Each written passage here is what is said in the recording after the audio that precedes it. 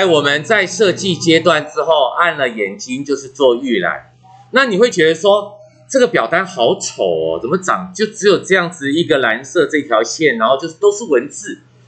如果你想要把你的这个表单美化一下，看起来心情也舒服嘛，对不对？好，我关掉预览，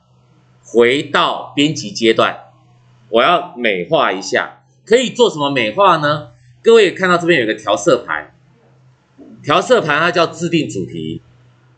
啊，就是可以来美化一下。怎么美化呢？首先第一个点下去哈，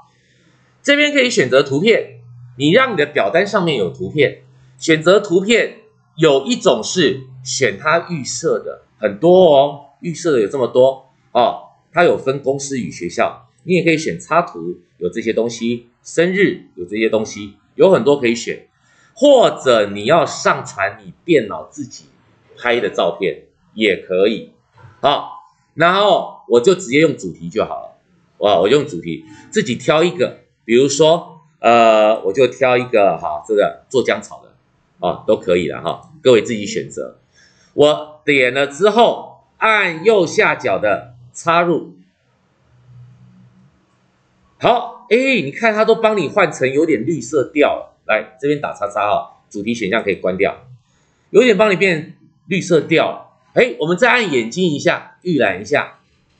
哇，它长得是不是这样看起来就漂亮多了，就不会那么单调。啊？当然你觉得哎不好，我想再换，没关系，这个地方可以打叉叉，再回到设计阶段，再一样调色盘，这里制定主题，然后把这已上传图片打叉叉，重新选一个选择图片。再去挑别的，好，我随便再挑一个哈，比如说，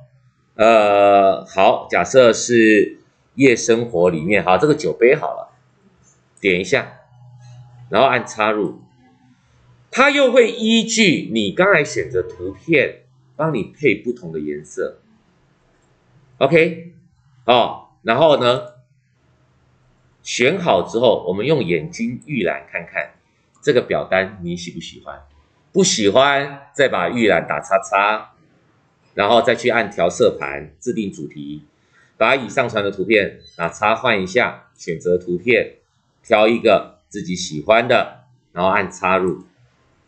它又换一个，然后你可以再预览看看状况是不是你喜欢的。